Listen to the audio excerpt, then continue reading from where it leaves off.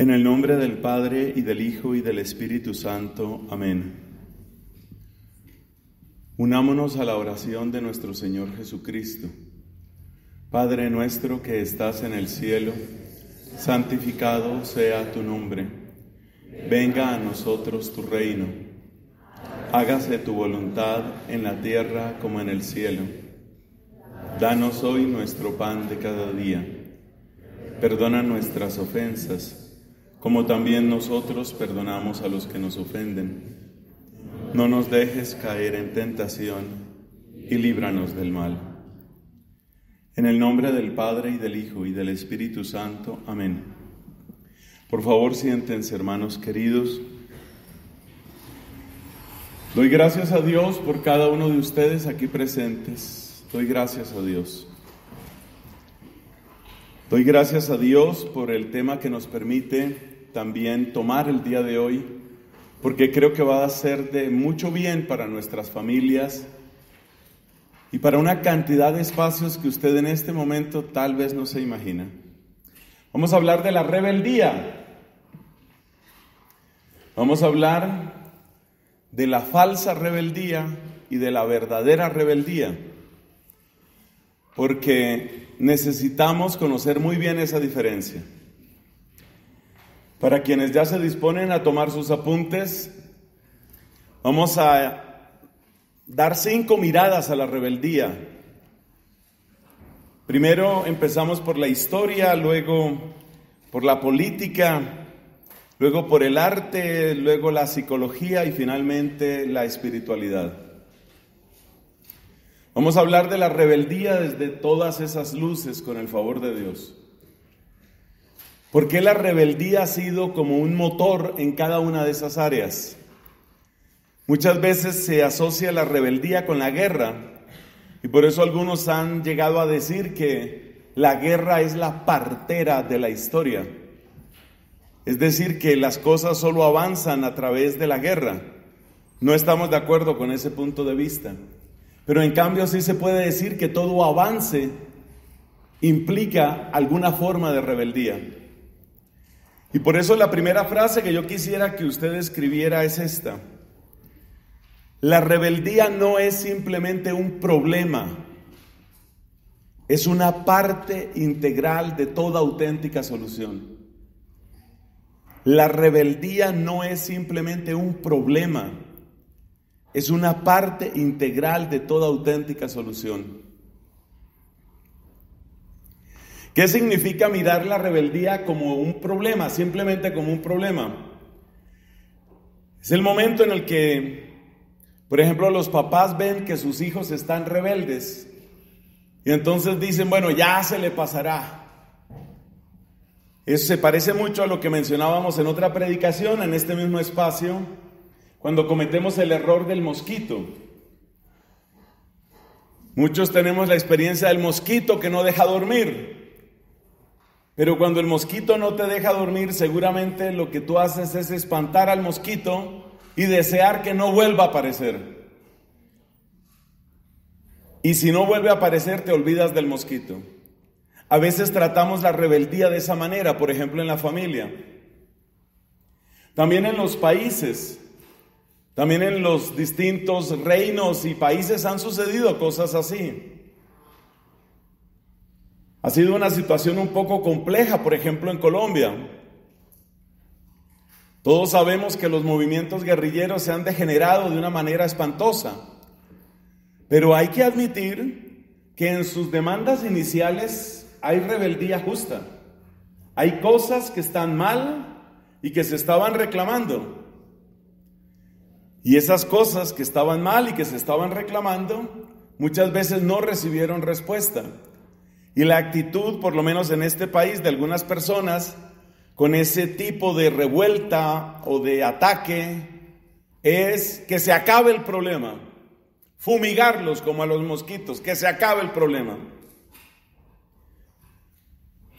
Yo no digo que lo que se ha hecho en este país con el proceso de paz sea una cosa buena o con la que yo esté de acuerdo, pero eso no es lo que importa aquí. Lo que quiero destacar es cómo muchas veces tratamos el tema de la rebeldía simplemente como un problema. Y ya que es un problema, lo que hay que hacer es suprimirlo, aplastarlo. Una frase clave es, la rebeldía tiene que ser parte de la solución. Y es muy interesante ver cómo dentro de nuestra fe, de lo que se trata no es de anular la rebeldía, sino más bien de darle un cauce. Sobre eso vamos a hablar especialmente en la parte final. Bueno, aquí termina la introducción. Entonces la introducción es el anuncio de que vamos a examinar cinco puntos de vista. Historia, eh, política, arte, psicología y espiritualidad. Y luego hemos comentado nuestra frase que es como una línea conductora.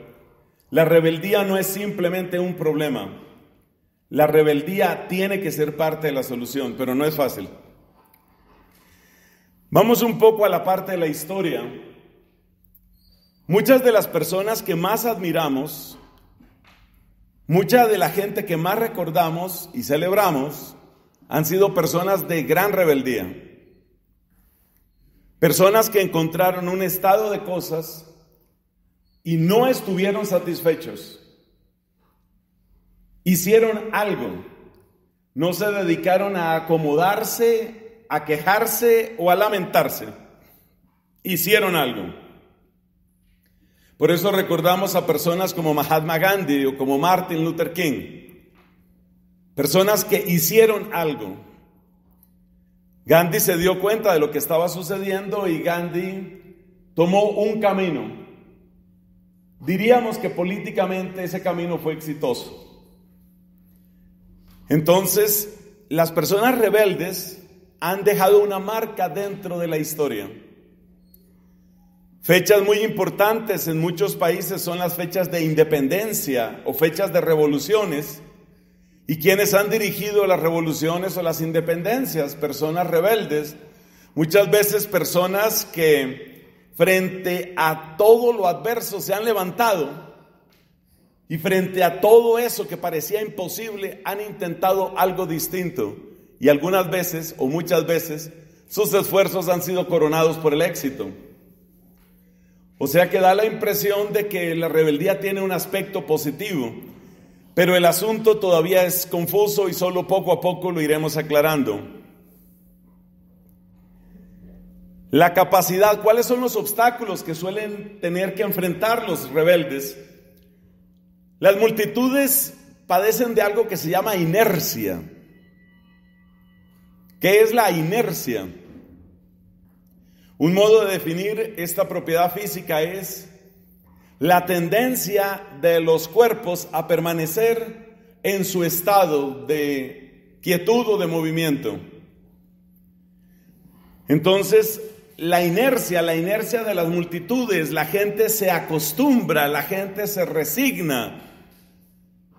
Y yo creo que quienes han escuchado otras predicaciones de este servidor o de otras personas, se dan cuenta que a veces a uno le hierve la sangre viendo todo lo que nos están haciendo y la gente ahí inerte. Sobre todo me preocupa muchísimo lo que está sucediendo con la familia. En ese sentido nosotros no necesitamos menos rebeldes, sino más rebeldes. Cuando uno ve que encontramos en distintos países las mismas leyes, cuando encontramos las mismas presiones, los mismos lobbies actuando en tantos países, uno siente ganas de rebelarse frente a eso global. Algunos hablan del nuevo orden mundial. Hay una cosa global ahí. Pero volvamos a la historia. Los grandes líderes han tenido que luchar contra la inercia de las multitudes. Han tenido que luchar contra la comodidad porque nada grande se hace desde la comodidad. Si recordamos, por ejemplo, la causa de la independencia aquí en nuestro país, seguramente recordaremos por qué tipo de vicisitudes tuvieron que pasar los del ejército libertador. Muchos de ellos venían de zonas bajas y cálidas de los llanos orientales y tuvieron que cruzar la cordillera. Fallecieron de enfermedades o de frío un buen número de ellos porque tenían que subir por toda esa parte hasta llegar al famoso páramo de Pisba. Entonces siempre es más fácil la comodidad, siempre es más fácil quedarse uno tranquilo y decir, oiga, pero que alguien haga algo, pero, pero por Dios, pero, pero ¿hasta dónde vamos a llegar? Y no más. Y hasta ahí llega la rebeldía de muchos. Pero hay personas que han ido más allá. Hay que vencer la inercia, hay que vencer la comodidad. Hay que vencer la cobardía porque obviamente se van a meter con nosotros, con nuestros intereses. Cuando menciono a mi tocayo, Nelson Mandela, debo aclarar que yo no estoy de acuerdo con toda su postura política. Realmente es difícil encontrar personas con las que uno se identifique 100%, pero no le quitemos su mérito al hombre. Realmente Nelson Mandela pasó muchos años en la cárcel. Y una de las frases más brillantes y más inspiradoras de Nelson Mandela sucedió cuando salió de la cárcel. Porque él salió de la cárcel dispuesto no a la venganza, sino a unificar un país profundamente dividido. Y si no se vence esa división del país, de nada valió la cárcel. Este es un pensamiento luminoso de Mandela. El hecho de que este hombre haya tenido que llegar hasta la cárcel muestra que Comprometerse con un cambio serio trae consecuencias. Consecuencias significa que uno se vuelve ridículo para unas personas, uno será tachado de extremista, uno será tachado de peligro, de terrorista o de muchas cosas. También en el plano pequeño esto sucede. Varios de los jóvenes que nos acompañan con frecuencia en familia espiritual han tenido que sufrir en pequeño o en grande, la exclusión. En su viaje a Inglaterra es algo que yo no olvido. El Papa Benedicto, cuando viajó a Inglaterra para la beatificación de el cardenal Newman, una de las frases que se me quedó de ese viaje del Papa Benedicto a Inglaterra fue cuando habló a los jóvenes y les dijo, hoy una de las formas más frecuentes de persecución es el ridículo y el aislamiento. Si tú estás defendiendo la vida y todos en tu clase son pro aborto, pues vas a tener muchas dificultades en que tus opiniones sean respetadas e incluso cosas tan sencillas como que a alguien se le ocurra invitarte a almorzar. Y en esas edades eso duele y pesa bastante. Entonces, lo que quiero destacar es que en la historia ha habido personas que se han enfrentado con ese tipo de obstáculos, con esa clase de dragones y monstruos. La inercia de las multitudes y la comodidad y el afán de seguridad que muchos de nosotros tenemos. Muchas personas sienten, yo no tengo madera de mártir, no tengo madera de héroe. Yo no estoy hecho para ese tipo de cosas. Además hay que tener en cuenta que no todo el mundo que es rebelde es líder. Esa es otra frase que te puede servir. No toda rebeldía necesariamente es liderazgo, porque lo que necesitaba, suponiendo que la causa libertadora fuera una causa justa, en el ejemplo de Colombia, que eso también tiene sus discusiones, qué era lo que pretendía la élite criolla en aquel tiempo, etcétera, etcétera. Ese es un tema para discutir. Pero para simplificar el discurso, digamos que efectivamente era éticamente mejor buscar la independencia. Sobre la base de ese supuesto, tenemos que decir que un ejército no se compone de 10.000 Simón Bolívar. Se necesitan líderes, pero también se necesitan personas que secunden, que acompañen. Y muchas veces las grandes obras suceden a través de heroísmos anónimos. Con esto quiero decir que rebeldía no es igual a protagonismo. Así que dentro de sus apuntes es bueno que quede esa frase también. Usted puede tener una gran madera de líder o usted puede tener una gran madera de rebelde y no necesariamente son la misma cosa. Porque usted puede ser un líder inteligente que simplemente se acomoda a lo que la gente quiere oír. De hecho, ese es el desastre político que estamos viendo en una gran cantidad de partidos, especialmente en Europa. Es lo que se llama gobernar con las encuestas.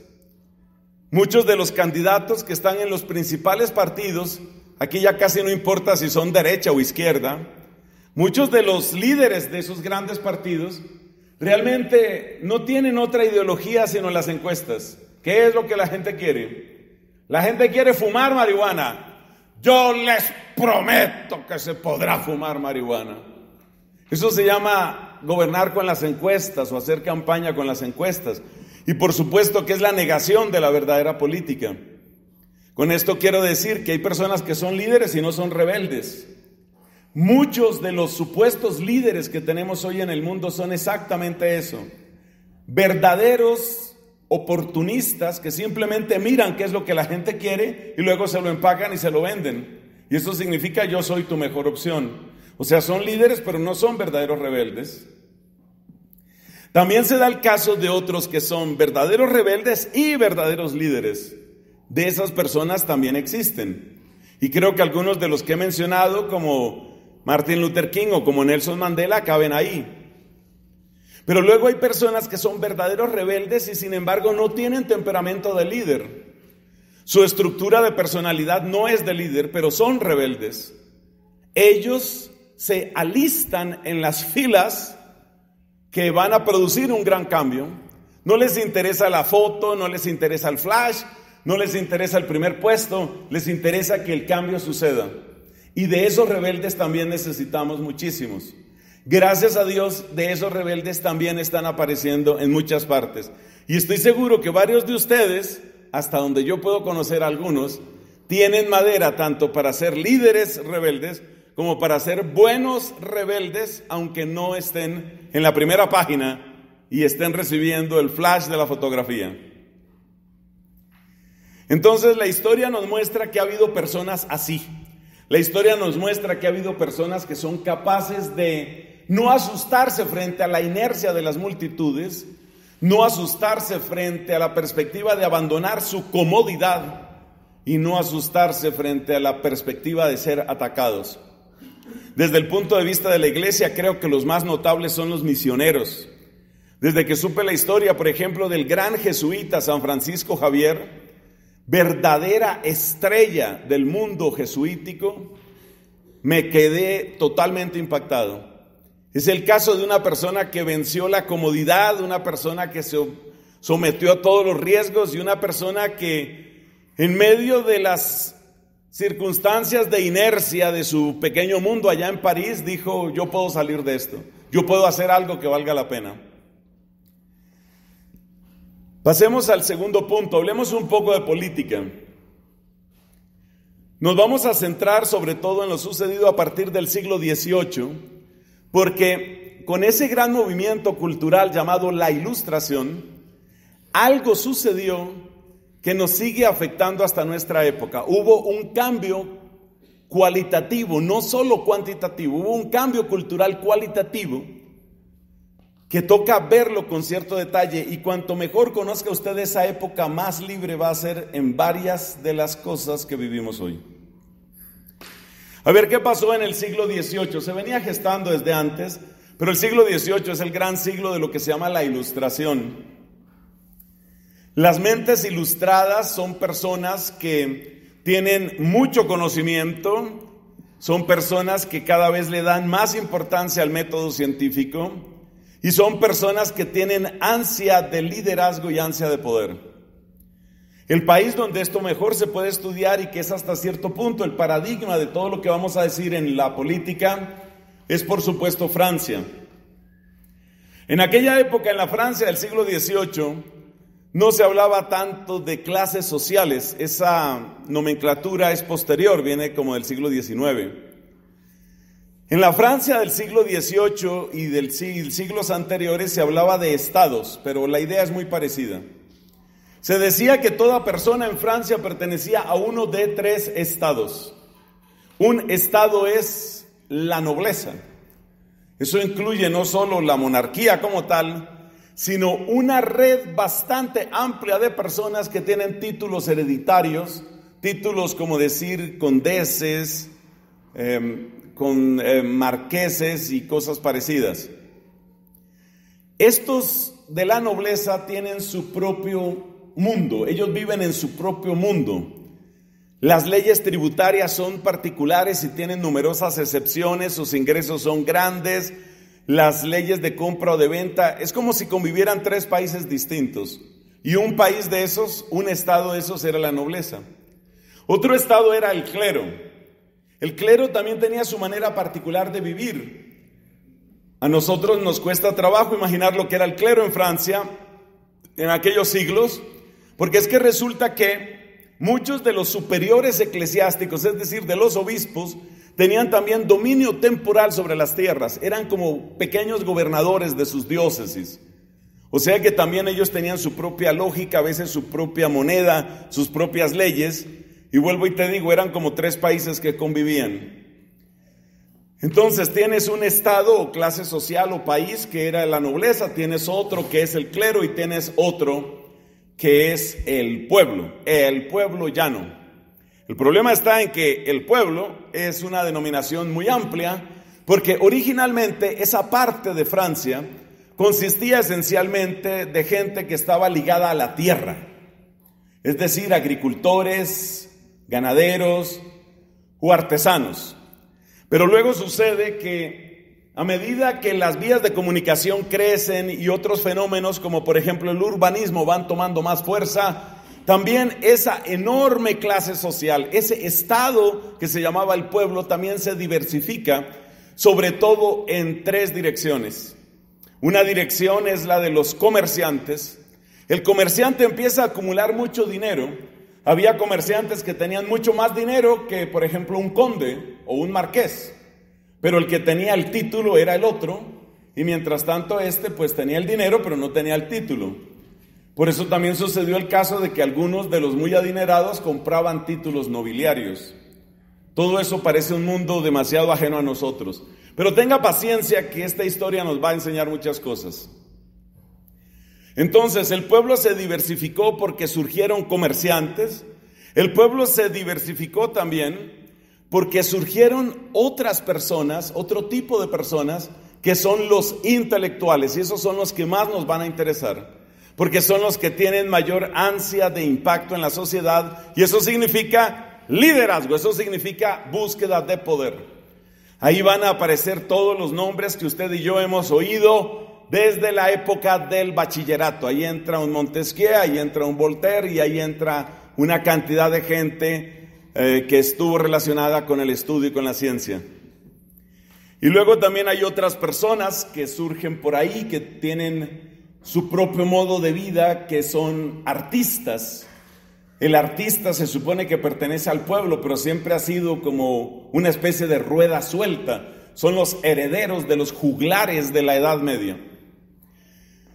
Los comerciantes, mientras su comercio funcione bien, realmente siguen funcionando en la inercia.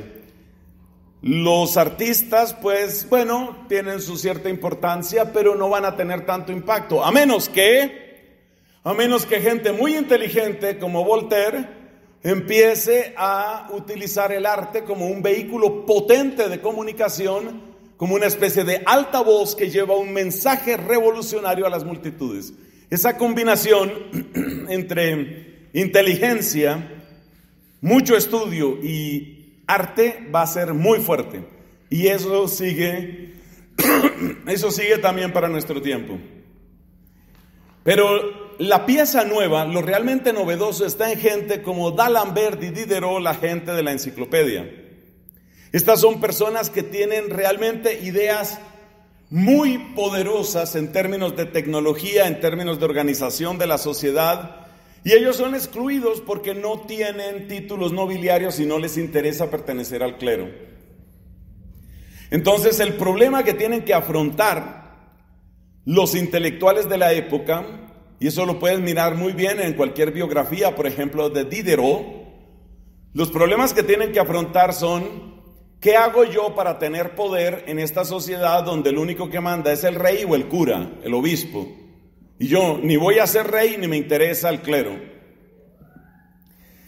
Entonces aquí surge una estrategia y esta estrategia, mis hermanos, es hasta cierto punto el centro de nuestro mensaje sobre la manipulación y la rebeldía. Atención que lo que viene es absolutamente esencial para nuestro tema. ¿De qué estamos hablando? Mira la gran estrategia que utilizaron estos intelectuales, que fue exactamente la manera como se gestó la Revolución Francesa. La idea central es esta, despertar conciencia del dolor en las multitudes. Para eso se utiliza la imprenta, para eso se utiliza la difusión de escritos, para eso se utiliza la enciclopedia y para eso se utiliza el arte. Atención con las obras de teatro. No se te puede olvidar el número de obras de teatro que escribió Voltaire. Entonces, despertar conciencia de dolor, es decir, hablarle al corazón a la multitud y decirle, ¿no es verdad que estás muy mal? ¿No es verdad que la estás pasando muy mal, pero muy mal? Es decir, exacerbar el dolor, hacer tomar conciencia del dolor y de la mala situación. Segundo, Tomar conciencia de clase.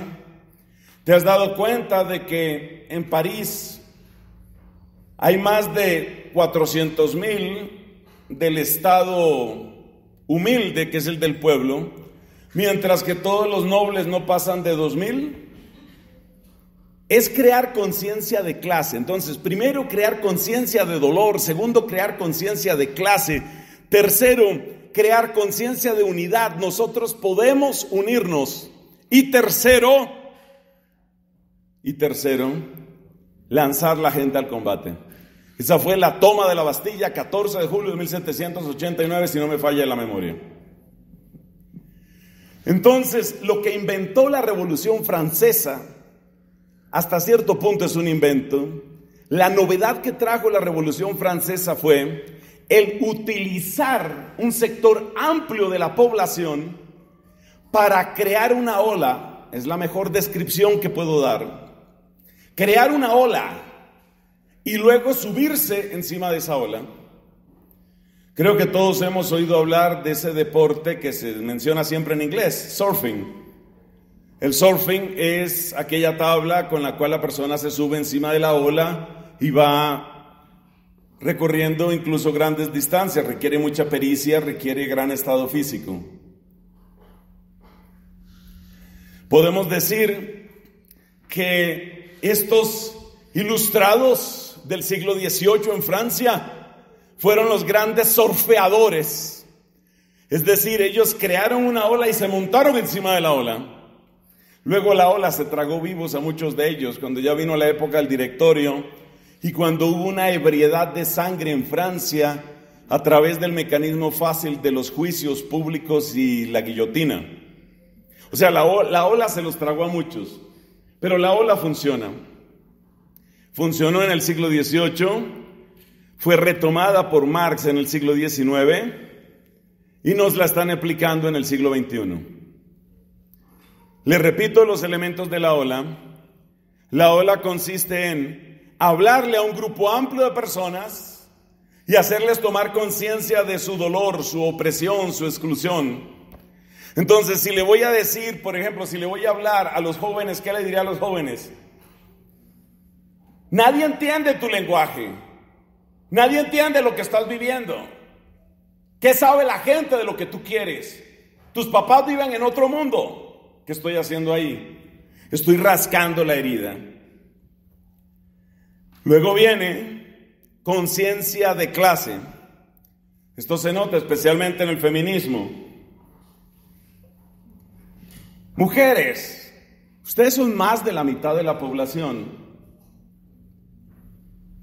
¿Cuántos feminicidios más tienen que suceder para que ustedes, mujeres, despierten? Cuando le hablan así, sobre todo si la que habla no es un hombre, sino una mujer, eso crea conciencia de clase. Ey, sí, ¿verdad? Somos mayoría y sin embargo todas las decisiones las toman los hombres. ¿Por qué? ¿Cómo así? Se ha creado conciencia de clase. Tercero, conciencia de unidad. Movimiento LGBT. Vamos al día del orgullo. Todos a la calle. ¿Cómo se crea conciencia de unidad? Por medio de una cosa que en lingüística se llama semiótica, es decir, el uso coherente de ciertos símbolos. Entonces, por ejemplo, la gente del movimiento LGBT utiliza, por supuesto, la bandera arcoíris. Entonces vamos a llenar la carrera séptima, 90 mil personas de todas las edades, carrozas, cantos, trompetas, ambiente de carnaval, 60 mil banderas arcoíris. ¿Eso qué es? Conciencia de unidad. Tiene que aprendérselo porque a usted le están cambiando la vida con esto. Usted tiene que conocer esto porque le están, a usted y a mí nos están cambiando la vida con esto. Entonces las herramientas siempre son las mismas. Conciencia de dolor, o sea, te voy a rascar la herida para que te des cuenta que en el fondo a ti te duele. ¿Eso es para qué? Para superar la inercia. Luego viene la conciencia de clase y lo que te duele a ti le duele a muchos, les duele a muchos. Y luego viene la conciencia de unidad. ¿Y cómo es la conciencia de unidad? Pues nos vamos a lanzar todos a la calle y vamos a hacer un tuitazo y vamos a tomarnos las redes sociales y vamos a esperar a Monseñor Rey Pla en la misa en Alcalá y vamos a hacer un plantón o vamos a encadenarnos junto al Congreso. Eso es crear unidad. Eso se llama hacer política. Pero por supuesto, la parte que menos se menciona en todo esto es, necesito que todos ustedes se rebelen. Esa es la parte que se dice. La parte que no se dice, pero queda entendida es, y que me tomen a mí como su líder y su jefe. Esa parte no la dicen, pero esa parte es la más importante. ¿Por qué? Porque si yo he sido, mire usted una biografía de Lenin, esa fue exactamente la estrategia de Lenin. Lenin era un tremendo orador. Entonces, si yo he sido el que te he despertado conciencia de dolor, si yo he sido el que te he despertado conciencia de clase, si yo he sido el que te he hecho caer en cuenta que tú y yo formamos unidad con muchas otras personas, si yo he sido el que te ha acompañado en todo ese proceso, ¿quién crees que va a quedar de secretario del partido? Pues no, no va a quedar Juan Pérez, no va a quedar Rebeca Sánchez, voy a quedar yo. O sea que en el fondo, el pacto implícito, ¿cuál es? El pacto implícito es, vamos a crear la ola. Vamos a crear una ola gigantesca y esto, señoras y señores, va a cambiar. Eso es lo que se dice. ¿Y cuál es la parte que no se dice? Apóyenme. Apóyenme. Porque yo necesito llegar a la alcaldía. Porque yo necesito llegar a la presidencia. Porque yo necesito un escaño en el Congreso. Apóyenme. Esa es la manera como esto funciona. Entonces tú te das cuenta que eso se llama el uso inteligente de la rebeldía. Pero el uso es inteligente para el líder y los otros muchas veces son convertidos en esa expresión que suena un poco fea pero ustedes me la van a permitir aquí porque es la que siempre se utiliza. Idiotas útiles. Entonces, vamos a la carga. Ustedes hacen la fuerza, yo me monto encima. Así funciona. Y así funciona para muchas cosas. Para muchas cosas. Si usted quiere hacer una manifestación, seguramente tiene que acudir a estos recursos. Deseablemente una manifestación pública que sea honesta debe crear suficiente conciencia en las personas para que no obren como borregos. ¿Cómo te das cuenta de que una persona está obrando como borregos?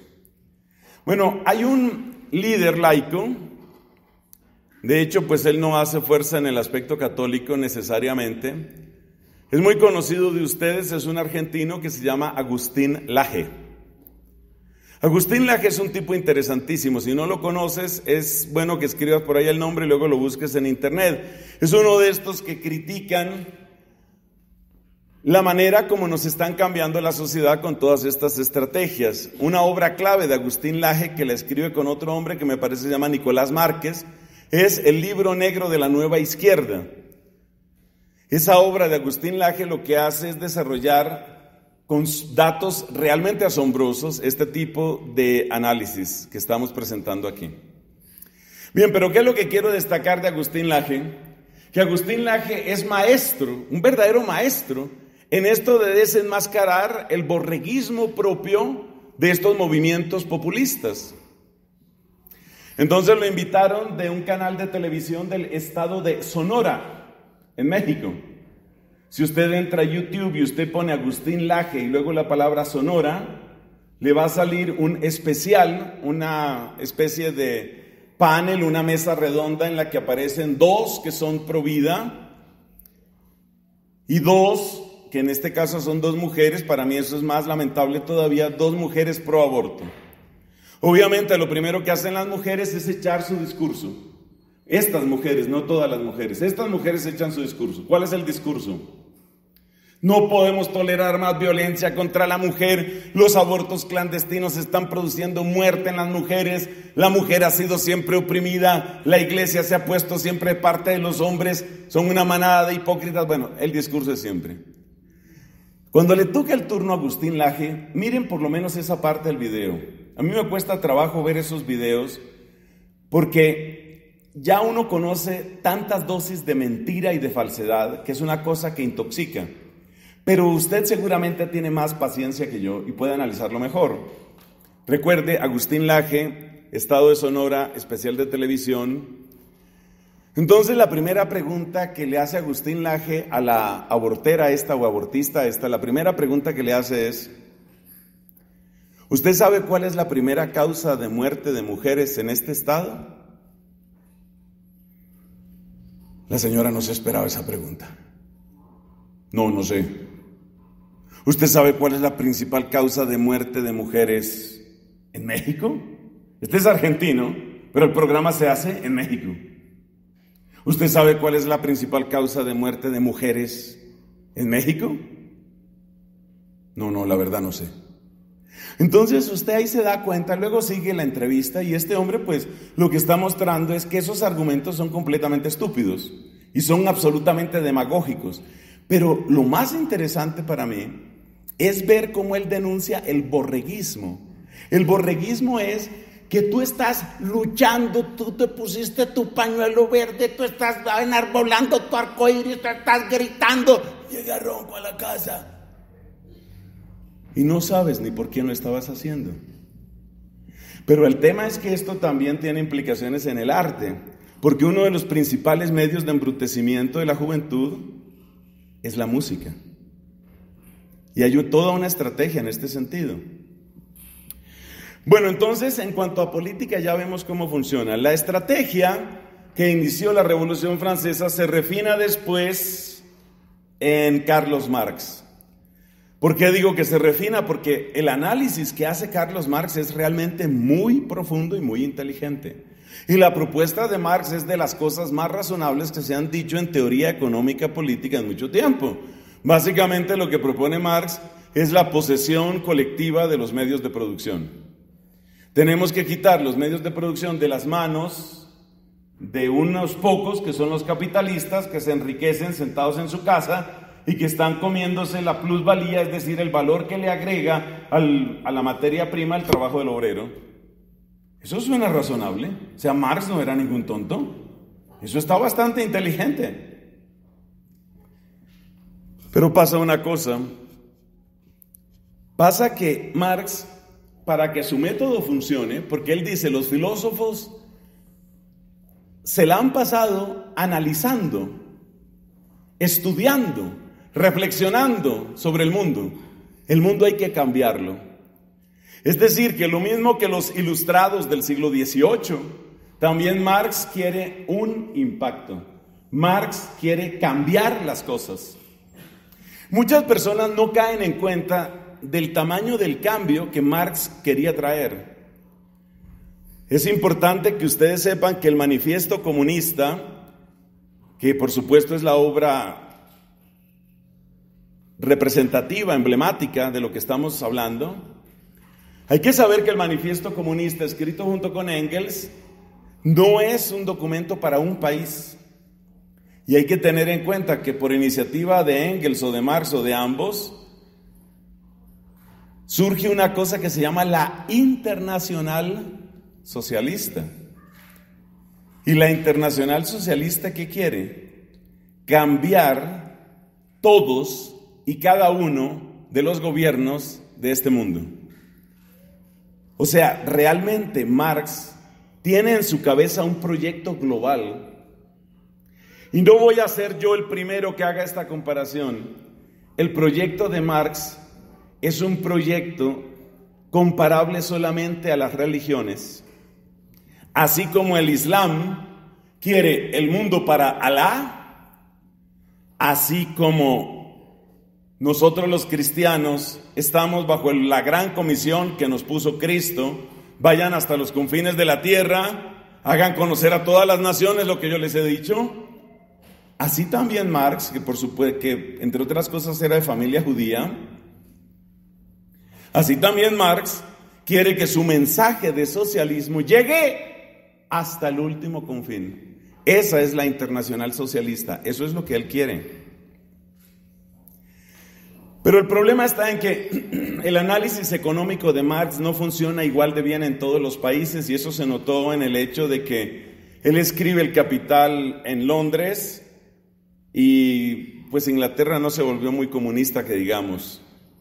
El comunismo más bien triunfa en una sociedad de tipo agrario, que es la sociedad rusa, que tenía sus propias dislocaciones. Entonces surge en la Italia de la primera mitad del siglo XX un hombre llamado Antonio Gramsci. Entonces Gramsci hace una generalización de las ideas de Marx, que no es otra cosa sino tomar este esquema de la ola y decir, aplíquese este esquema en cada lugar según convenga. Como quien dice, Marx solamente contaba con una clase que se llama el proletariado. Gramsci dice, no nos quedemos con el proletariado. En algunos lugares la fuerza más viva de cambio van a ser las mujeres. En otros lugares la fuerza más viva de cambio van a ser los homosexuales. En otro lugar la fuerza más viva de cambio van a ser los indígenas. Entonces no nos quedemos solo con un sector de la población. A este marxismo generalizado, de carácter un poco más abstracto, pero a la vez más aplicable en distintos contextos culturales, a esto lo llamamos neomarxismo. El neomarxismo es exactamente lo que está detrás de todos estos movimientos que ustedes y yo conocemos ahora. Está absolutamente vivo. ¿Por qué el neomarxismo tiene tanta fuerza en este momento? Porque la mayor parte de nosotros cristianos occidentales cometimos un error grave, un error técnico grave, que fue cuál? Creer que con la caída del muro de Berlín y creer que con el fracaso histórico del comunismo soviético ya las ideas de Marx estaban derrotadas. Error de ingenuidad. El marxismo está completamente vivo y está actuando con mucha fuerza. Por eso Agustín Laje llama a su obra la nueva izquierda. La nueva izquierda. Esas ideas están vivas, pero nos han tomado un poco fuera de lugar. Y desde el año 1989, que es la fecha típica, hasta hoy, estamos hablando en el 2019, han pasado 30 años. En estos 30 años ha nacido toda una generación y esa generación se caracteriza por un tremendo individualismo, y ese individualismo los hace particularmente susceptibles a todo tipo de manipulación, pero a través de otras ideas. La política no suele interesar a las personas que tienen menos de 30 años. Pero es que la política para manipularte no necesita que tú te intereses en política. Escriba esa frase que le conviene. La política para manipularte no necesita que tú te intereses en política. De hecho, es más fácil manipularte si no te interesa la política. Y todos esos jóvenes que dicen, a mí eso no me interesa, a mí déjenme llevar mi vida científica, a mí me interesa la ciencia, a mí me interesa la sociología, a mí me interesa la música, a mí me interesan mis aventuras, a mí me interesan mis amigos. Todos esos se convierten en una legión de idiotas útiles. Y son idiotas útiles porque en la medida en que no les interesa la política, no se dan cuenta de la cantidad de cuerdas que tienen amarradas a las manos y a los pies y con los cuales los están moviendo. Precisamente una parte muy importante de este análisis es despierte, tome conciencia, dése cuenta de lo que le están haciendo. Pasemos a la parte del arte. Debemos reconocer que el arte necesita de la rebeldía. El arte necesita de la rebeldía. ¿Por qué? Porque el arte necesita de creatividad. Así como a nadie le gusta que todos los días a las 9 de la mañana le echen el mismo chiste, eso se convertiría en una tortura. Usted también necesita que aparezcan nuevas melodías, nuevos bailes, nuevas poesías, nuevos movimientos literarios, nuevas pinturas. Por eso el arte hasta cierto punto necesita la rebeldía. Usted recuerde lo que dijimos en la ilustración. Una parte importante del cambio estuvo motivada por el arte. Que una persona tan increíblemente inteligente como Voltaire se dedicara a escribir obras de teatro, tiene que decirle a usted cuánta fuerza tiene el arte. La creatividad siempre explora nuevos modos de presentar los mensajes o nuevos modos de oponerse a los mensajes. Y con mucha frecuencia los humoristas, los poetas, los cantantes han logrado cosas que otros no han podido lograr. La rebeldía es entonces parte del arte y no se le debe quitar. El problema está en que dentro de la misma dentro del mismo quehacer artístico, la rebeldía puede estar al servicio de intereses bastante oscuros y creo que hay un fenómeno en ese sentido que vale la pena mencionar aquí. Se llama la destrucción de la palabra. A ver, cuando yo miro a los jóvenes, y gracias a Dios aquí tenemos varios, muchos, bastantes, más los que no han podido venir hoy, pero estoy seguro que escucharán estas palabras. Cuando usted mira a los jóvenes, usted se da cuenta que el joven tiene muchos tesoros. Tiene fuerza porque tiene vitalidad. Tiene una inteligencia que suele ser rápida y muchas veces crítica. Pero hay un tesoro, un tesoro maravilloso que tiene la juventud. Y ese tesoro se llama rebeldía. El problema está en que si la rebeldía no la manejas tú, te la maneja otro. Si a ti te apagan la luz de la razón, y esto que me lo oigan todos, pero sobre todo los jóvenes, no importa si les caigo bien o les caigo mal, me importa un pepino. Si, si usted no maneja su rebeldía, otro se la maneja. Y el primer paso para manejarle la rebeldía a usted es apagar dentro de usted la luz de la razón. Entonces, hay todo un camino en el arte que va en la línea de la destrucción de la racionalidad a través de la destrucción de la palabra. ¿Qué es la destrucción de la palabra? La destrucción de la palabra es la desaparición, por ejemplo, de la letra de las canciones. Es decir, a medida que la canción se va convirtiendo únicamente en un gruñido, o la canción se va convirtiendo únicamente en un gemido, que no se sabe si es gemido de miedo, gemido de placer, gemido de rabia, a medida que se tritura la palabra dentro de la música, hay un propósito. Y me aterra la ingenuidad de tanto joven que no se da cuenta que en la medida en que la música carece de palabras, le están impidiendo a él analizar, pensar. Y el que no quiere que tú pienses, quiere manejarte. Quiere hacer de ti parte de una ola a la que se va a subir. Este es un problema muy serio. Por eso se compara el uso de ciertas músicas, se compara al uso de ciertas drogas. Después de una cierta dosis de música, realmente la persona es incapaz de analizar lo que está sucediendo. Entonces yo me acuerdo, por ejemplo, un video de un concierto. Según dicen los organizadores del concierto, estaba absolutamente prohibido el ingreso de drogas y cosas de esas.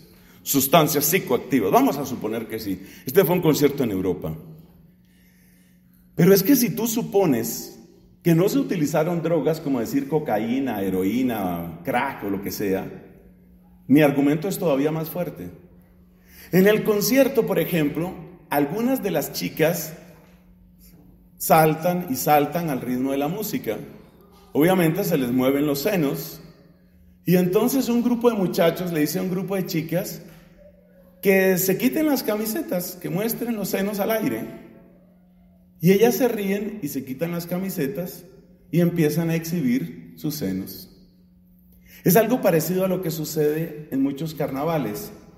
Usted sabe ese ritmo casi embrujado o embrujante de la samba, que llega un momento en el que desaparece la palabra.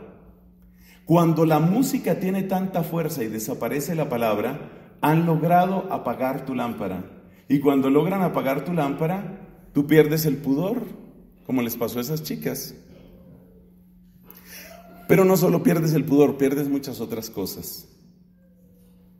Entonces hay que tener cuidado con esto, porque lo que a mí me, me asombra es la ingenuidad. Yo trato de decir el mínimo de groserías en esto, además no soy una persona grosera, pero la indignación sí se me sube a la cabeza. La ingenuidad estúpida de tanto muchacho que no se da cuenta que en la medida en que cultiva una música sin palabras, está preparándose para hacer una herramienta que otros utilizan para manejar multitudes o para ser el mismo manejado. Porque resulta que cuando una chica, por ejemplo, va a una discoteca y tiene su cabeza perfectamente lúcida, se puede defender de muchas cosas. Pero si tú estuvieras en la tónica de abusar de una mujer en una discoteca, Tú necesitas sacarla de esa posición serena en la que ella es dueña de sí misma.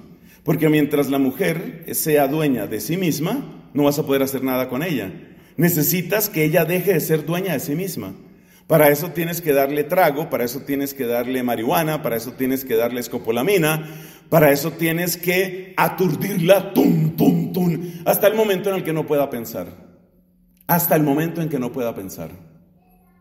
Entonces uno tiene que darse cuenta que todo lo que apague la luz de la razón, todo lo que apague la luz de la razón, es un instrumento de dominación. Me quieren dominar o me quieren usar, que en el fondo se parecen demasiado. Entonces, hay una parte del arte. Yo quiero afirmar las dos cosas, que el arte necesita rebeldía, sí, sí. Y no le podemos quitar rebeldía al arte. El arte necesita rebeldía. Pero por otra parte, ¿qué tipo de rebeldía necesita el arte? Porque si la rebeldía que utiliza el arte es la rebeldía que mata la palabra, entonces te están usando. Los dos modos musicales más típicos de destrucción de la palabra hoy por hoy son el reggaetón y lo que esté por ahí alrededor, y el rock metálico y lo que esté por ahí alrededor es destrucción de la palabra. Que no quede sino el grito.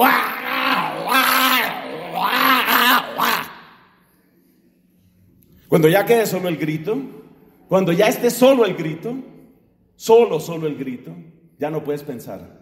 Y cuando ya no puedes pensar, yo hago contigo lo que se me dé la desgraciada gana. Y tú lo vas a hacer. Esto no me lo invento yo. Examinen ustedes los estudios Vayan a los estudios que tienen que ver con esto. Vayan a la gente que ha estudiado esto. Pero lo más asombroso es ver que unas pocas personas han salido de ese mundo. Y al salir de ese mundo cuentan también sus secretos. Y sin embargo, la salvación del arte no es quitarle la rebeldía. No es la, no es la salvación. Yo, por ejemplo, no estoy de acuerdo con los que dicen, volvamos a los cantos tradicionales. Ay, tiempos aquellos, tiempos aquellos.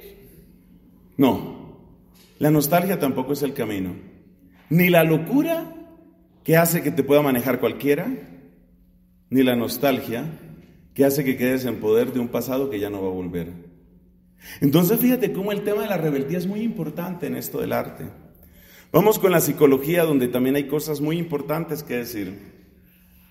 Típicamente la edad de la rebeldía es la adolescencia. Y esto tampoco se debe suprimir. Una vez más, el camino no es suprimir, el camino es encauzar. Y la clave dentro de una familia, y es aquí donde necesitamos familias llenas de luz, de sensatez, de amor, es lo que nos dice San Pablo. Es que San Pablo es asombroso. Vayan ustedes a Colosenses 3, 4. Y ustedes se van a encontrar lo asombroso que es San Pablo. La manera como dice a los hijos, sean dóciles, pero también dice a los papás, no cansen. Y las dos cosas son importantes. O sea, San Pablo se da cuenta que el papá que quiere hacer de su hijo un apéndice o una fotocopia está fracasando como papá. Pero el hijo que está tomando la postura de que lo dijo mi papá, luego tiene que ser mentira porque ese viejo desgraciado no sabe nada, ese también está equivocado. Lo de San Pablo es sumamente sabio. Lo puedes buscar, por ejemplo, en Colosenses 4. Entonces, la edad de la rebeldía típicamente es la adolescencia. ¿Por qué? Porque la tensión de esos años parte de la urgencia interior de consolidar las propias perspectivas, los propios valores. El niño, estoy generalizando y simplificando obviamente, pero podemos decir que el niño típicamente el niño es como una parte del papá y sobre todo de la mamá. Allá lo lleva la mamá, allá va el niño, allá va el niño. Cállese y siéntese. Me callo y me siento. Ahora párese, ya me paré. Mamá, ya puedo caminar. Bueno, tampoco tan grave. Pero el niño funciona así. Y algunos papás se apegan a esa etapa de sus hijos. Y quieren que luego el hijo siga siendo así toda la vida. Pero es que todo era tan simple cuando yo te decía, tómate la sopa y tú te la tomabas. Todo era tan simple. No sé por qué complicas todo. Esa persona está mirando la rebeldía como si fuera un mosquito. Ay, que se le acabara eso, que se le acabara eso. Y que volviera a ser esa niña que yo conocí, ese niño que yo conocí, que volviera a ser ese niño dócil que yo le decía, bueno, mañana Recordemos niños, mañana es el día de peinarnos todos por la mitad, todos por la pindada mañana, todos peinados. Y al otro día todos, niños y niñas peinados por la mitad. Eso no, ese no es el ideal cristiano ni eso es humano. Necesitamos gente que asuma su propia vida. Por eso hay una gran fuerza en los años juveniles. Entonces yo miro a mis jóvenes, mis queridos jóvenes, por ejemplo, ahí tengo una amiga que se llama Andrea, aquí tengo otro amigo que se llama José Luis. Yo los llamo amigos, no sé si ellos me consideran amigos. Entonces, ¿qué pasa? Que en José Luis, en Andrea y en otros jóvenes que andan por ahí, hay una fuerza tremenda. Es evidente que los enemigos, los enemigos cuáles son? El demonio, el mundo y la carne, quieren tomar ese tesoro tuyo que se llama tu rebeldía, porque la rebeldía es un tesoro. Esa es una tesis de esta conferencia.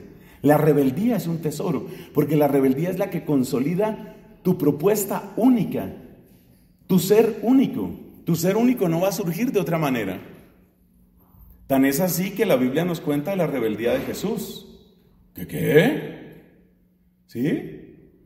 ¿Usted recuerda cuando Lucas, es Lucas, ¿cierto? Capítulo 2, se fueron en peregrinación a Jerusalén y después todos se fueron de Jerusalén. Y Jesús dijo, ¿sabe qué? Yo me quedo. Rebelde el muchachito, tenía 12 años. Y luego llega la mamá y le dice, ¿por qué nos has hecho esto? Tu padre y yo te estábamos buscando. Y responde entonces Jesús, yo tengo que ocuparme de las cosas de mi padre. Y dice expresamente el evangelista, no le entendieron. Entonces yo digo, si San José no entendió, si la Virgen no entendió, hombre, hay que comprender que a veces Juan David no entienda. ¿Cierto? Martica, a veces uno no entiende, ¿sí o no, Martica? A veces uno no entiende. Entonces, esto es parte del proceso, esto es parte del proceso. Pero es bueno que todos, tanto los adultos y algunos que ya vamos para una edad avanzada, tanto los adultos como los jóvenes y niños, es bueno que todos entendamos estos puntos que vamos a señalar aquí. Es importante que sepamos que hay alguien que quiere secuestrar la rebeldía de Andrea y hay alguien que quiere secuestrar la rebeldía de José Luis. ¿Y cuáles son las señales de que te quieren secuestrar tu rebeldía, querida Andreita? Las señales son las siguientes. Primera, ya lo dijimos, la supresión de la racionalidad. Supresión de la racionalidad es incapacidad de diálogo. Supresión de la racionalidad es pues ya, ya, ya. ¿Qué dijo? No sé. Pero eso se llama supresión de la racionalidad. Andrea, te puedes encargar. Entonces van inventando nuevos idiomas. Esto, por ejemplo, se parece una versión parecida al esquimal. No, los esquimales no hablan así. Entonces, primera señal de que te están secuestrando la rebeldía, supresión de la racionalidad. Cuando tú no eres capaz de expresarte. A veces no eres capaz de expresarte y simplemente rezongas o gruñes. Otras veces no eres capaz de expresarte pero rompes las cosas. Otras veces no eres capaz de expresarte, pero te haces cortadas en el cuerpo. Otras veces no eres capaz de expresarte frente a otros, pero entonces te aíslas de otros, entras en un mutismo, voto profundo de silencio. Silencio total. Pero solamente silencio con algunos, porque con otros sí que habla, con otros sí, pero silencio con algunos. Es decir, son aquellos adolescentes que están en la casa como en una comisaría de policía. Lo que yo hable será usado en mi contra. Entonces mejor no hablo nada. Todo eso es supresión de la racionalidad. Y hay todavía otra forma de supresión de la racionalidad, que es la mentira. Tratar de mantener una cierta ilusión que mi papito siga creyendo que yo soy su niñita. A mí me conviene que él crea que yo soy su niñita. Sí, papito, claro que sí. No se te olvide la cuota de la semana, mi papito, mi papito. Pero en el fondo estoy exprimiendo a mi papito. En el fondo lo que yo quiero es que mi papito, a mí me conviene que mi papito me mire como su niñita. ¿Pero para qué? Para lo que tiene que ver con el dinero, los permisos y cosas parecidas. Pero en otras decisiones, yo ya no soy su niñita, yo ya soy una mujer hecha, derecha, autónoma, igualitaria, libertaria, democrática y progresiva.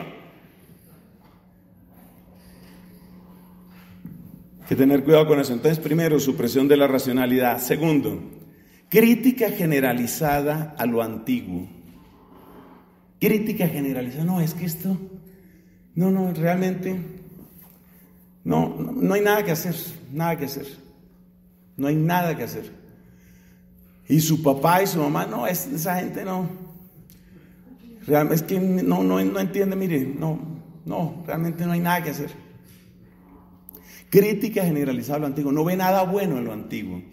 Tristemente se da también el otro caso de los adultos que no ven nada bueno en los jóvenes. Y ahí sí quedan tal para cual. ¿Y cuál es el tercer síntoma de que te quieren secuestrar el tesoro de rebeldía que tiene tu juventud? Porque, insisto, la rebeldía es un tesoro y te lo quieren secuestrar. ¿Cuál es el tercer síntoma? Espacios, modas, lenguajes, solamente para nosotros. Y aquí es donde yo entro en pelea bueno, usted sabe que quien le está hablando es un sacerdote de la Santa Iglesia Católica. Aquí es donde yo entro en pelea con la pastoral juvenil. Porque la pastoral juvenil cree que le está haciendo un favor a los jóvenes multiplicando los espacios solo para jóvenes. Aquí la imagen de Jesús que presentamos es un Jesús juvenil. Aquí tenemos un Jesús juvenil, aquí se habla de temas juveniles, aquí tenemos música juvenil para los jóvenes, aquí los jóvenes evangelizan a los jóvenes, Aquí tenemos jóvenes que están junto con otros jóvenes felices de ser jóvenes y de reunirse toda la juventud. Hermanos, yo sé que hay sacerdotes que le han apostado la vida a ese modelo. Por supuesto, todo modelo que se hace con sinceridad, con caridad, da algunos frutos. Pero créanme, por favor, ese no es el camino.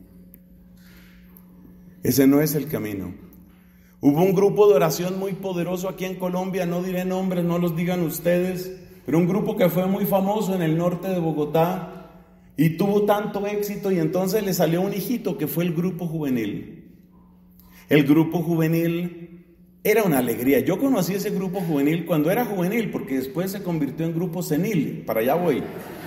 Pero yo conocí el grupo juvenil cuando era grupo juvenil. O sea, es emocionante cuando tú ves, por ejemplo, una chica 19 años en la flor de la edad, con la belleza que tiene la juventud, su carita preciosa, su voz perfecta, alabando al Señor. A su lado está un muchacho que es el que toca la batería y el que toca la batería tiene 16 años, es un artista consumado alabando al Señor. El de la guitarra tiene 21 años, el anciano decrépito del grupo juvenil tiene 23 años, ese es el anciano. O sea, eso es emocionante. Tú dices, uy, la juventud alabando a Cristo, bendito sea Dios. Pero ¿qué pasa? Que cuando tú creas espacios que son solo para los jóvenes, los vínculos entre ellos cada vez se vuelven más fuertes hasta ser casi irrompibles, pero cada vez es más difícil que entren personas distintas a ellos. ¿Por qué?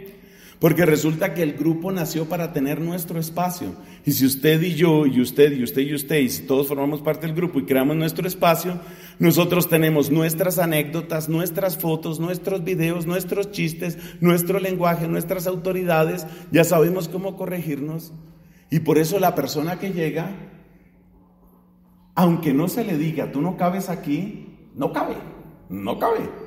¿Por qué? Porque se da cuenta que nunca lo incluyen en los chistes, se da cuenta que muchas cosas no comprende, se da cuenta que solo le corrigen cuando hay que corregirlo y no se siente realmente recibido. El argumento más fuerte para tener cuidado con esa idea de pastoral juvenil, el argumento más fuerte es que si usted va a la Biblia, jamás aparece algo así. El modelo bíblico de evangelización siempre es desde niños hasta adultos hasta ancianos. Si tú te acostumbras, que esa es la esperanza mía, con personas muy queridas como querido Mateo, allá tenemos a papá, o aquí tenemos, ya dije a José Luis, ya no lo voy a mencionar más porque ya me mira con cara de que ya pare, ya, ya, déjelo ya. ¿Cuál es la esperanza mía con personas como estos amigos jóvenes que tenemos aquí? O mi querida amiga niña, que ya la vi, ahí está mi querida Salomé. ¿Cuál es la esperanza mía?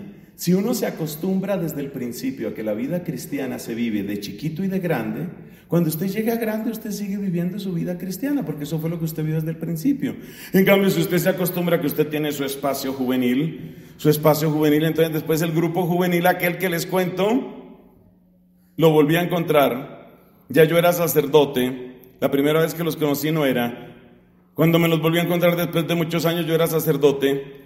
Estaban más o menos las mismas personas, pero el peso neto había aumentado. Entonces, suele suceder. Mismo número de personas, pero peso corporal mayor. En síntesis, eso no funciona. Entonces hay que tener cuidado. ¿Qué significa? ¿Cuáles son las señales de que te quieren secuestrar la juventud? Las señales son estas tres que hemos dicho. Señal número uno, supresión de la racionalidad, mutismo, gruñidos, aislamiento, mentiras, eso es supresión de la racionalidad. Segundo, es muy peligrosa la crítica generalizada a todo lo anterior. Esto se da más en los varones que en las niñas. Las niñas suelen ser mucho más inteligentes en estas transiciones, mucho más inteligentes, pero hay de todo. Tercero, espacios, nuestros espacios. Entonces, si tú eres una de esas personas que cuando por fin ves, estás en un grupo de amigos y tú dices, el que menos tiene, no tiene menos años que, o sea, si acaso tendrá dos años menos que yo. Y el que más tiene, si acaso tendrá dos años más que yo. ¡Ay, qué bueno esto! ¡Ay, por fin nos libramos de toda esa manada de dinosaurios! ¡Ah, por fin estamos nosotros! Eso, en el lenguaje de San Pablo se llama carnalidad. Y la frase de San Pablo en la carta a los Gálatas es, y el que siembra en la carne, de la carne cosechará corrupción. No funciona. Tal vez tener algunas actividades, sí, perfectamente normal. También Jesús algunas veces se reunía solo con los apóstoles, sí. Algunas actividades que sean solo para niños, bien. Actividad solo para mujeres, bien. Pero actividades pero uno vive esa actividad y vuelve a la comunidad con todas sus características y con toda su fuerza. ¿Cómo se vencen las trampas de aquellos que quieren secuestrar tu rebeldía? Porque les repito, querido Mateo, les repito, querida Salomé, Andreita, ya no lo menciono más a usted. A ustedes les quieren secuestrar una fuerza maravillosa que se llama rebeldía, se la quieren secuestrar para ponerla al servicio del demonio, o al servicio del mundo, o al servicio de la carne. ¿Cómo se lucha contra eso? Entonces hay que cultivar la racionalidad, hay que cultivar el deseo, el esfuerzo de poder hablar, hay que poder hablar. Así no quieras hablar, lucha hasta encontrar las palabras. Segundo, hay que hacer el ejercicio del discernimiento. Ni todo lo antiguo es malo porque es antiguo, ni todo lo bueno es bueno, ni todo lo nuevo es bueno simplemente por ser nuevo, ni lo contrario. Hay cosas buenas y malas en el pasado. Hay cosas buenas y malas en el presente. Jesús dice, tenemos que ser como aquellos dueños de casa que del tesoro sacan lo antiguo y lo nuevo según se necesite. Terminemos con una breve reflexión sobre la espiritualidad. Hermanos amados, la santidad, si lo piensas bien, es un modo sublime de rebeldía. Escriba esa frase que le conviene. La santidad es un modo sublime de rebeldía. Los santos han sido rebeldes. Mira tú un Bernardo de Claraval, mira un Antonio Abad, son rebeldes. Mira un Domingo de Guzmán, todo el mundo decía que estaba perdida para la Iglesia Católica, estaba perdida la zona de Carcasona. Esa región de Carcasona en el sur de Francia, eso está perdido. Santo Domingo de Guzmán es un rebelde y se da la pelea. Dura por lo menos 10 años en soledad peleando y luego va ganando terreno y luego funda las monjas y luego funda los frailes. Es un tremendo rebelde. Martín de Porres, quien lo ve en su humildad, es un tremendo rebelde. Es uno de los grandes vencedores del racismo por un camino absolutamente inesperado. La virginidad consagrada es una rebeldía. Fue de las cosas que más impactó en el mundo antiguo. En un tiempo en el que la virginidad de una muchacha valía unos centavos, en un tiempo en que la mujer era un juguete, que una muchacha dijera, quiero ser virgen para Cristo, eso fue un estallido de rebeldía tremendo. Y eso levantó la dignidad de la mujer de un modo que hoy nos cuesta apreciar. La santidad es un modo sublime de rebeldía. Los papas lo han dicho, cada uno con su lenguaje. Juan Pablo II y Benedicto, al hablar a los jóvenes, siempre les dicen, acostúmbrense a ir contra corriente. Es esto, rebeldía. El Papa Francisco utilizó una expresión que luego ha sido motivo de burla, pero es porque la gente la quiere entender mal, pero la expresión es buena. Hagan lío. ¿Qué quiere decir eso? No se conformen, no se queden con el mundo como lo encuentran, no se acostumbren a las cosas como están. O sea, es invitar a una rebeldía sana, una rebeldía buena. Sea de los rebeldes, pero de los rebeldes buenos, quiere el Papa Francisco.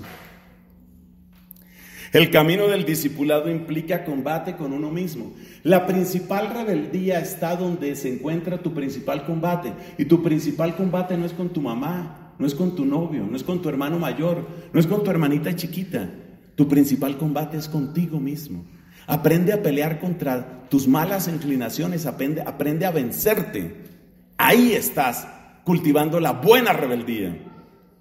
Tercera recomendación, Recuerda que el ideal no es una juventud apagada, atontada, juventud de borregos que a todo diga sí, sí, sí, no. Mira lo que nos dice la primera carta de Juan. Les escribo a ustedes jóvenes porque son valientes y porque han vencido al mundo. Esos son los jóvenes que necesitamos, los que han vencido al mundo. Cuando yo veo jóvenes tan acomplejados frente a las corrientes de este mundo, tan incapaces de argumentar, tan cómplices de tantas cosas. Yo digo, por lo menos hasta ahora estamos muy corticos en familia espiritual, muy corticos. Así que el ideal no es una juventud de borregos, el ideal es una juventud de líderes en este sentido.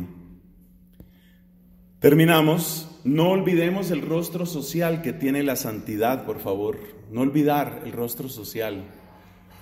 No olvidar lo que hemos dicho en esta misma conferencia sobre el nuevo orden mundial. ¿Cuál es tu postura de liderazgo frente a eso? ¿Cuál es tu postura?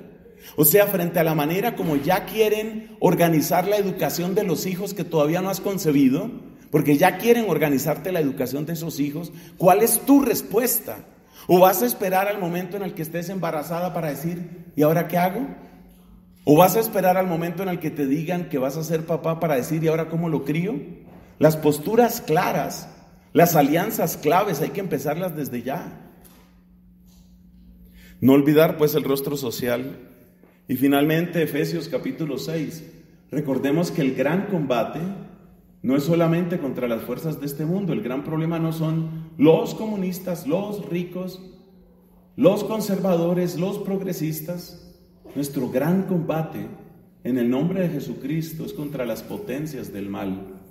Será ocasión de alguna otra reflexión. Por ahora, demos gracias a Dios y pidamos al Señor, sobre todo por nuestros niños y jóvenes, que encuentren la verdadera rebeldía para que no vayan a ser jamás idiotas útiles.